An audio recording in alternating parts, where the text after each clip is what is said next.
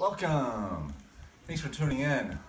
I'm Pretzel Campen, and I'd like to introduce my new blog, campenpose.com. Yeah, I know, we got plenty of blogs in this world. Why do we need campenpose.com? Well, my inspiration for this blog is to combine two things that I hold dearly nature and yoga, and bring them together. So now we have a new yoga pose called Campin' Pose. Ah. Anyway, this is nothing new. We've known for a long time that nature does amazing things to the body. Yeah, we need nature to survive, but just walking in nature calms the mind.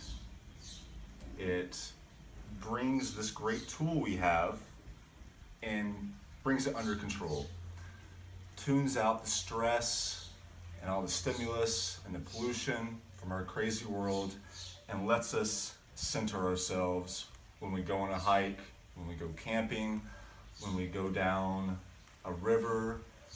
Uh, it just does incredible things to our body. And it's only recently that scientific studies have confirmed the benefits of communing with nature.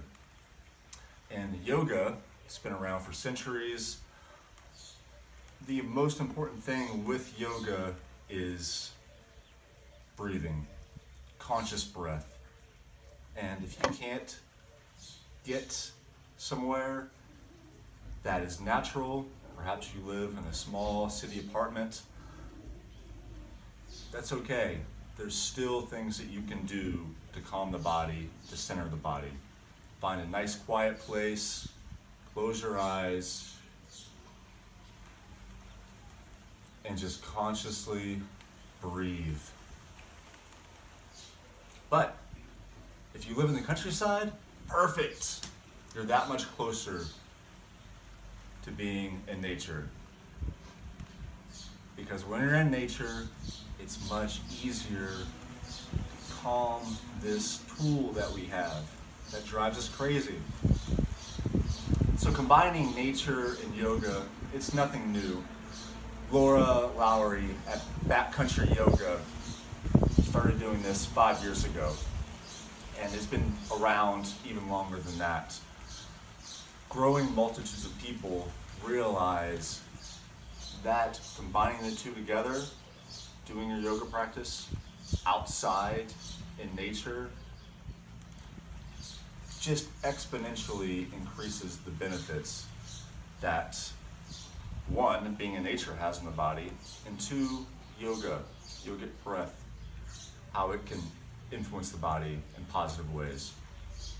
So, if you're curious, interested, unsure, or maybe you want to learn something new, check out campenpose.com. Follow me. Right now, I just want to share my experiences with nature, camping, and yoga with you. In the future, I hope to have contributors to share your own unique experiences in nature and yoga with the wider world that we know of as the interwebs. So stay tuned for next time, and for the time being, stay safe in this crazy world of ours. And remember, we're all in this thing called life together. Namaste.